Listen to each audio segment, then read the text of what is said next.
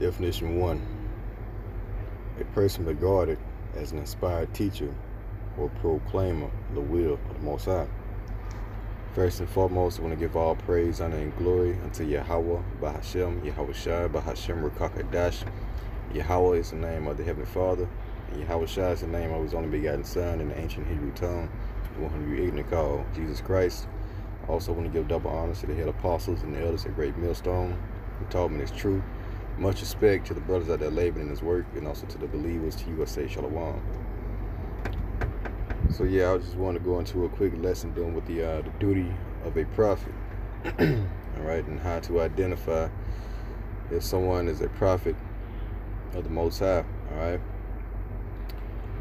So that can be simply um, identified according to the will of the Most High, right? In which you have to understand the will of the Most High in order for you to be a prophet, all right? And um, this first definition it says a person regarded as an inspired teacher or proclaimer of the will of the Most High, as in the Old Testament prophet Jeremiah, all right?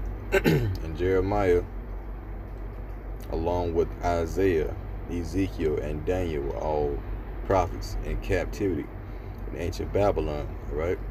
They were all prophets in captivity in ancient Babylon. And um, the Lord single handedly uh, picked these ordinary men and gave them his word, all right? They would be just ordinary men like me and you today. But um, the people would never take heed of those prophets because they were perceived to be nobodies. But that's who the Lord chooses. So uh, it's the same thing happening in this time. And um, we have once found ourselves in captivity once again, all right? This time in modern day Babylon, which is Babylon the Great, mentioned in Revelations 18, Revelation 17 and 18, all right? Mystery Babylon the Great, which is America. And the Lord has done the same thing again, in which He has brought His prophets back through the reincarnation, you know, through the reincarnation to prophesy once again the downfall of this wicked kingdom, as did the prophet Isaiah, Jeremiah, Ezekiel, and Daniel. right? and uh, this has always been the sentiment of the Most High and His prophets, and nothing has changed. Okay, so let's go to Revelations 19 and 10, and this is the uh, Revelator, John the Revelator, speaking unto an angel. Okay, on the island of Patmos. And he said, And I fell at his feet, at the angel's feet, to worship him. And he said unto me, See thou do it not, I am thy fellow servant, and of thy brethren that had a testimony of Yahawashi. Worship Yahawashi, for the testimony of Yahawashi is the spirit of prophecy. You see, it is the spirit of prophecy. And uh, John the Revelator was worshiping an angel, and the angel told him, "Hey, don't don't worship me, worship the Most High." You know, because whether you know it or not, all right, the Israelites are simply angels trapped in, in the chains of darkness, which are these bodies. All right, so he said, Don't worship me, I am your fellow brethren, because you are an angel also, just trapped in a body. But the testimony of Yahawashi would be the spirit of prophecy. So let's click on let's click on the word prophecy right here, right, and see what we get. Remember, the gospel would be the testimony of prophecy. All right, so definition A a discourse emanating from divine inspiration and declaring the purposes of the Most High, just like we read in that definition on Google.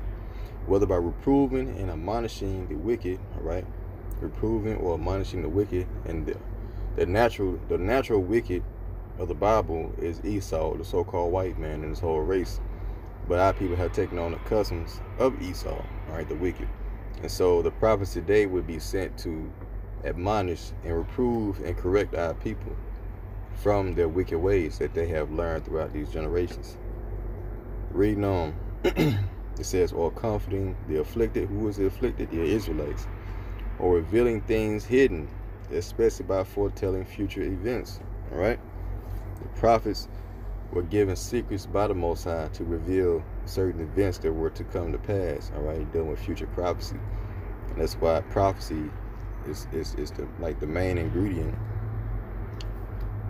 when it comes to um pushing the Lord's word. You see, Because when the Lord speaks to his prophets, that means that he's about to uh, uh, um, put in work. Right? He's about to destroy the kingdom. and it's no different from the day, man. All right. So these last days, Lord has raised up prophets in Babylon, as the scriptures say, to prophesy against America and all these other countries. You're gonna find out in a second. All right, Amos 3 and 6. It says, Shall a trumpet be blown in the city, and the people not be afraid? Shall there be evil in the city, and the Lord have not done it? Surely the Lord will do nothing, but he revealeth his secrets unto his servants the prophets. You see? He's always done that. Revealed his secrets unto his servants and prophets. Ordinary men who were given his word and were told by the Most High to go out and tell my people to repent, you know, before they be destroyed. And um, just like when you read the book of Ezekiel, right? The Lord spoke to Ezekiel. And look what he told him. Ezekiel 2 and 6 it says, And thou, son of man, be not afraid of them, neither be afraid of their words, though briars and thorns be with thee, and thou dost dwell among scorpions. Be not afraid of their words, nor be dismayed at their looks, though they be a rebellious house. It's talking about the whole nation of Israel, right? Two thirds to be exact, who want who do not want to come back into their heritage and repent from their um idol worship. Okay. And it says, um, says, Be not afraid of words, nor be dismayed at their looks, though they be a rebellious house. And though and thou shalt speak my words unto them, whether they will hear or whether they will forbear, for they are mostly a rebellious house. But thou, son of man, hear what I say unto thee, be not thou like that rebellious house. All right? Be not thou rebellious like that rebellious house. Open thy mouth and eat that I give thee. And when I looked, behold, an hand was sent unto me, and lo, a roll of a book was therein, and that's representative of these uh, this Bible today, right? That's representative of this Bible today. Verse 10, and he spread it before me, and it was written within and without, and there was written therein lamentations and mourning and woe, all right? Lamentations, mourning, and woe. And that's pretty much the message of the gospel of the prophets today. You know, when we speak the true words of Yahweh by Shema Shah, it's not pleasing on the ears for you people that are still in the world, right? And that's why it's so hard for you to repent. And you know, we talking about our people, the, the Israelites, the so-called Negro, Latino, Native Americans, because you want to hear a feel-good message. That's what you have heard all your life in these churches. You you want to hear about, you know, uh, your pastor saying in 21 days, somebody in here gonna win a hundred million dollars in 21 days, some shit like that, you know and that's just not that's not the gospel, man. That's not a, that's not what a true prophet is is is sent for, man. A true prophet is really sent to warn, all right, the Israelites from their wickedness, to turn from their wickedness, because oftentimes we were delivered into captivity under our enemies, and now we're at the end of that captivity. You know, in um these modern times, the Lord is calling His people back to repentance, but only a remnant is going to be saved. Ezekiel 3 and 1, moreover, he said unto me, Son of man, eat that thou findest, eat this roll, and go and speak unto the house of Israel. You see? And his roll represents his book, man, these words in his book. So I opened my mouth, and he caused me to eat that roll. And he said unto me, Son of man, cause thy belly, which is your mind, to eat, and fill thy bowels with this roll that I give thee. This is uh, similitude. Then did I eat, and it was in my mouth as honey for sweetness. And he said unto me, Son of man, go and get thee unto the house of Israel, and speak my words unto them. All right, speak my words unto them, for thou art not sent to a people of a strange speech and of a hard language, but unto the house of Israel. So this message is only going into the house of the Israelites, all right? so-called Negro, Latino, Native Americans, not no other nation. All right, to tell you to repent. And we have to speak the words of the Heavenly Father, man. That's why when you go to 8, Isaiah 8 and 20, to the law and to the testimony, if they speak not according to this word, is because there is no light in them. All right. So if you got a prophet that's not speaking according to what's written in this book, it's because there is no light in them. All right. And they don't have the truth. Okay. So we are, we have been given the words of Yahweh Shemal Shah to go out and speak unto you so-called Negro, Latino, Native Americans to tell you to repent.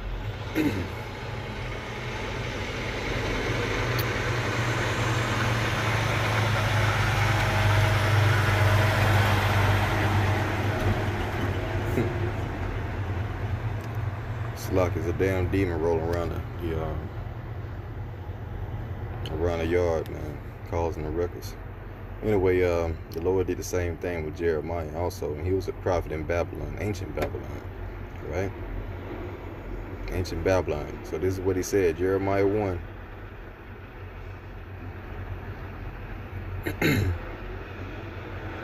Jeremiah 1 and 8, it says, Be not afraid of the faces, for I am with thee to deliver thee, said the Lord Yahweh Bashim Shah. Then the Lord put forth his hand and touched my mouth. And the Lord said unto me, Behold, I put my words in thy mouth. All right, I put my words in my mouth. So that's why it's thus said the Lord. When we tell you something, it's always out the scriptures, man, to tell you that, hey, this is what the Lord said, and this is what you should be doing. See? It goes on to say, verse 10, See, I have set this day I have this day set thee over the nations and over the kingdoms to root out and to pull down and to destroy and to throw down, to build and to plant. And why are the prophets sent with this message? All right, to prophesy into the kingdoms and these nations to root up and to pull down and to destroy and to throw down, to build and to plant. Right? It's because the Lord has a kingdom that is getting ready to be established. And before that happens, you know, he has to root up this current system, man. He has to root up these nations, all right, by his word. And uh, we have to prophesy into these nations according to what the Lord told us to do, all right? And so all the prophets of the Bible came in that same sentiment, even Yahweh the one who you people even call Jesus Christ, he was prophesying against, all right, the fourth beast, which, uh, which was the Roman Empire, and prophesying about the kingdom of the Israelites. And that's why he was hated so much. And that's the same thing today. Jeremiah 28 and 8, the prophets that have been before me and before thee of old prophesied both against many countries and against great kingdoms. Is not America a great kingdom? It says a war and of evil and of pestilence. Yeah, we telling you that America is going to be destroyed by thermonuclear missiles, as mentioned in the Holy Scriptures. This is not our words. These are the words of the Heavenly Father, Yahawah, Bahasham Yahawashi. All right, to warn you people to flee from your idols before the Lord uh, destroys you along with this place, man. All right. This is why the Lord has sent his, has sent his prophets out with his secrets to warn you people, you so-called Negro, Latino, and Native Americans. All right, so your current pastor or whoever the hell he may be, you know, whether it's a Christian pastor or you may have an Israelite pastor who who's telling you that there's going to be peace in his land. Well, verse 9 says otherwise. It says, a prophet which prophesieth of peace when the word of the prophet shall come to pass. As these pastors are telling you right now, oh, it's going to get better. You know, everything's going to go back to normal. Well, let's see. It says, when the word of the prophet shall come to pass, then shall the prophet be known that the Lord had truly sent him. Because the true prophets are telling you that there's going to be evil on the horizon, man. There's going to be nothing but evil. It's going to be mass death, right, on the on, on the most grandest scale that's ever been on the face of the earth, which is called uh, Jacob's trouble. And a lot of people are going to die. Matter of fact, everyone in America is going to die from thermonuclear fire. Everyone except the elect. You see, the Lord's about to destroy this whole land. It's going to be, it's, it, in actuality, America is that lake of fire that is mentioned in Revelation. You see? and so we, you know, we read these old, you know, they seem like they may be old, but they were written for this time to be exact, you know. A lot of stuff was written for these times right now. That's why when you go to, um, let's see, they were written for our learning, right? So when you go to Romans 15 and 4, for whatsoever things were written aforetime were written for our learning, that we through patience and comfort of the scriptures might have hope. Right? Lord hope he said eat this whole roll and go out and speak unto them, man. This is not just a book that you can read halfway through and understand it. You have to understand the whole story and the mystery of the Israelites, in which they often went into captivity, right, and they were delivered from captivity. And we at the end of this captivity. And so before that end comes, the Lord always sends out his prophets, you see. And um, like I said, in the midst of World War III, America will be destroyed by thermonuclear fire, and all the rest of these nations at that as well. Ecclesiastes 1 and 9, the thing that hath been, what has been, ancient Babylon, is that which shall be where we are now in modern day Babylon, Babylon the Great. And that which is done is that which shall be done. Ancient Babylon was destroyed, and this Babylon is going to be destroyed.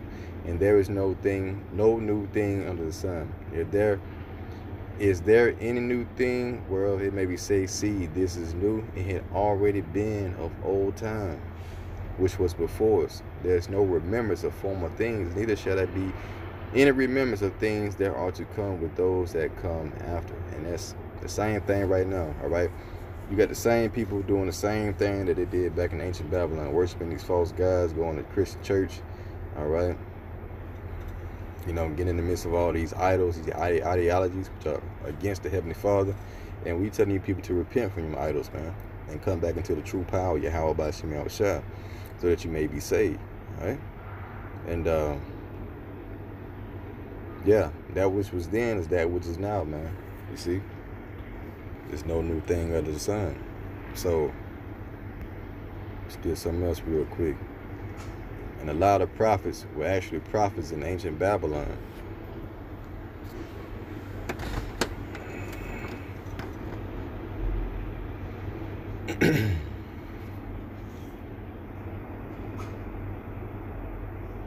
Let's see, yeah, this is Baruch. Baruch was a prophet in ancient Babylon. And this is Baruch 3 and 8. It says, Behold, we are yet this day in our captivity where thou hast scattered us for reproach and a curse, and to be subject to payments according to all the iniquities of our fathers which departed from the Lord our power. See, we are yet this day in our captivities, and Yahweh Shemal Shai is not gathered as yet, man. That's why when you go to the New Testament, and you go to, uh, let's see, Matthew the 24th chapter, the Lord says, hey, let's see if I can find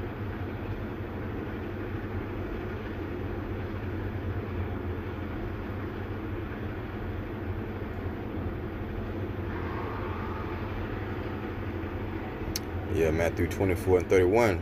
This is going to the second coming of our Lord Yahweh Shah. He says, And he shall send his angels with a great sound of a trumpet, and they shall gather his elect from the four winds from one end of the heaven to the other. So when you read Baruch 3 and 4, it says what, man? Hey, Behold, we are yet this day in our captivity, but where thou hast scattered us, all right, we've been scattered throughout the four corners of the earth for reproach and a curse and to be subject to payments. Are you not paying bills and shit? According to all the iniquities of our fathers, which departed from the Lord our power.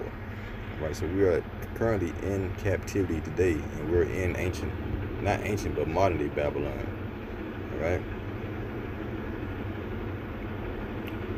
Let's see what I want to get. Let's get Micah real quick. Micah the fourth chapter. And all these damn damnations are against the chosen people, man. All right, this is Mac. it's like this is Micah 4 and 10. It says, Be in pain and labor to bring forth, O daughter of Zion. All right, be in pain and labor to bring forth. Pain is captivity, man. He says, and labor to bring forth. That's why he puts in his work. So the Lord, so we can, um, you know, nation Israel, who is married unto the Most High, can get birth into the sons of the Most High. And to prove that, okay, we are married unto the Most High, let's go to Jeremiah 3 and um, 15. Matter of fact, 14 says, Turn, O backsliding children, saith the Lord Yahawah, for I am married unto you. And I will take you one of a city and two of a family, and I will bring you to Zion. See? I will bring you to Zion. Fucking demon around here, man, making all these noise and shit.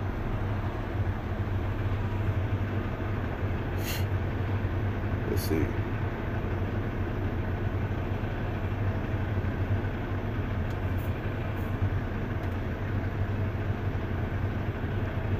So let's go back to Micah 4.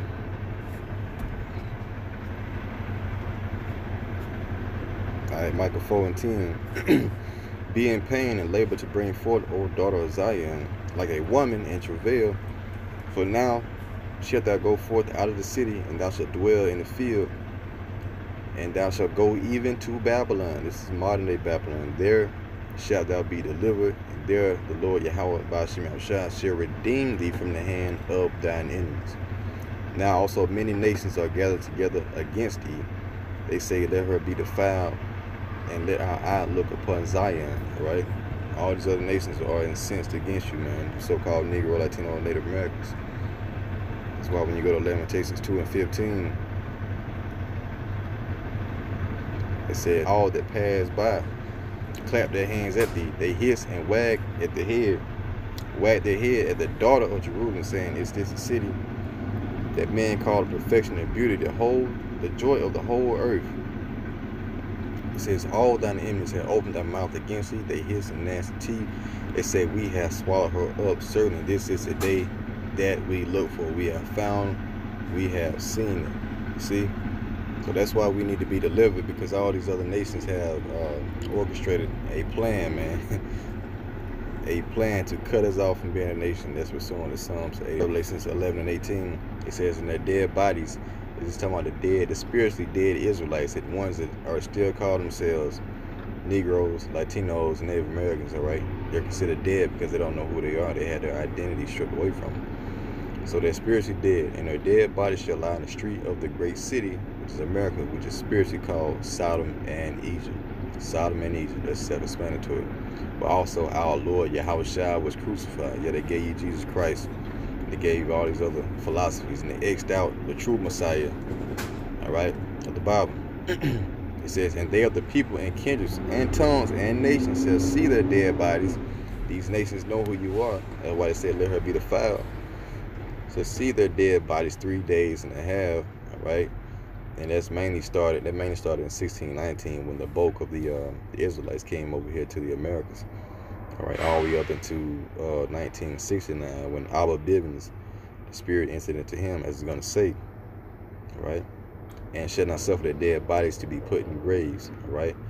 The nation says, see their dead bodies three days and a half, 350 years, they should not suffer their dead bodies to be put in graves, meaning they they weren't going to be comforted. The people were not going to tell us who we were, right? It says, And they that dwell upon the earth shall rejoice over them and make merry and shall send gifts one to another because these two prophets, the northern and the southern kingdom, right, tormented them that dwelt on the earth. So they trying to get they they trying to get payback, right? They had to get payback because we actually had these nations in subjection in the times past. So they returned the favor right? Verse 12, and I heard a great voice from heaven saying unto them, Come up hither. No matter of fact, I skipped one. Verse 11, and after three days and a half, all right, it's 350 years, all the way up into 1969 from 1619, the spirit of life, which is the understanding of this book, from the Most High entered into them, and they stood up on their feet.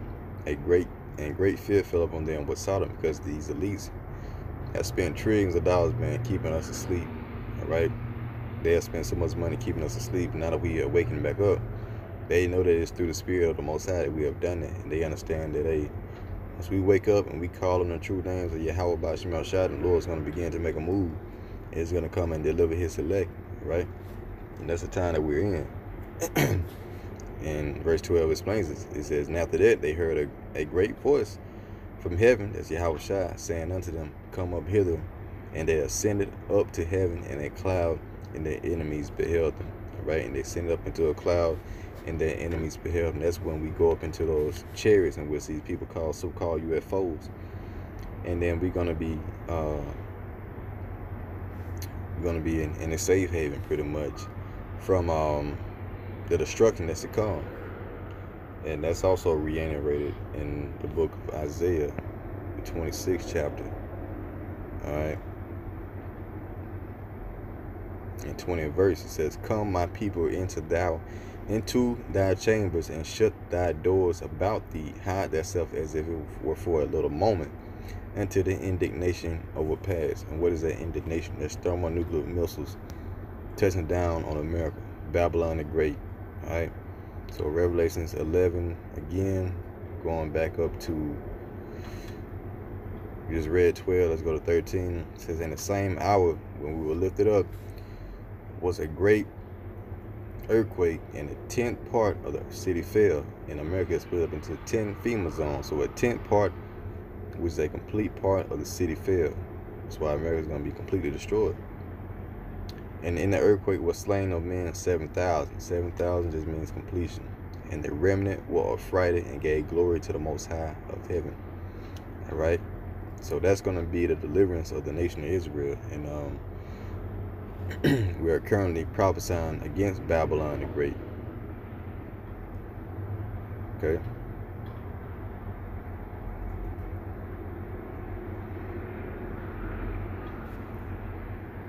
And as we just read about the destruction, this this pretty much goes into it, the destruction of America. Revelations 11, I mean 18 and 4, and I heard another voice from heaven saying, Come out of her, my people, that ye be not partakers of her sins, and that you received not of her plagues, these missiles.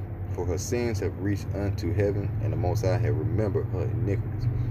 Reward her even as she rewarded you, and double unto her according to her works. In the cup which she hath filled, fill to her double, how much she hath glorified herself and lived deliciously, so much torment and sorrow give her, for she saith in her heart, I sit a queen, and am no widow, and shall see no sorrow. America has not been touched.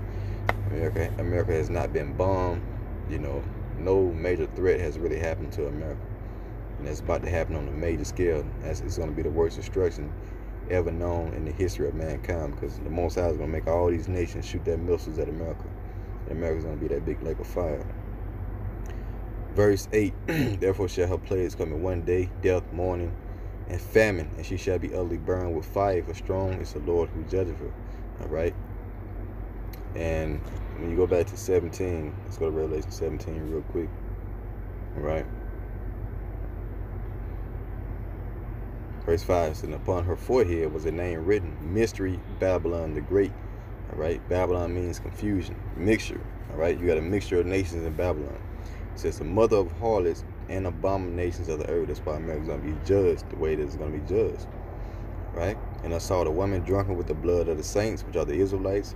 Read Psalms 55 or Psalms 50 and 5. All right. And with the blood of the martyrs of Yahawashi. And when I saw her, I wanted with great admiration.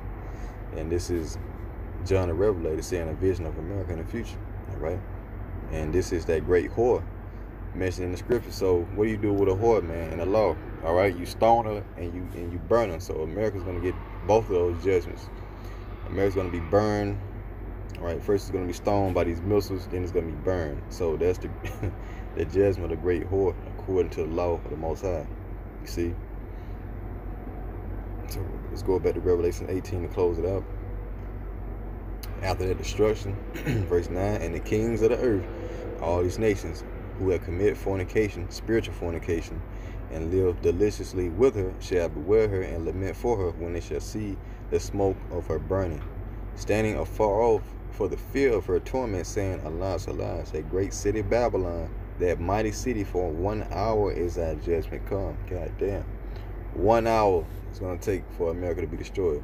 And all these other nations that have drunken and have gotten drunken with this, this whore, this bitch, they're gonna sit there and they're gonna be like, damn, I don't want to be like that. You know, you know, we we don't want to feel that wrath. So America's gonna be set as that example for these other nations of how not to be in this earth, man. How not to be rebellious against the Most High, and uh, America's gonna be set as a gazing stock for these other nations to take notes and to know not to rebel against the Most High again. And uh, yeah, man, that's, that's pretty much uh, all I got. You know, we're in that time all right, of deliverance. So with that, a Lord willing, it was edifying. Till next time I say, Shalom.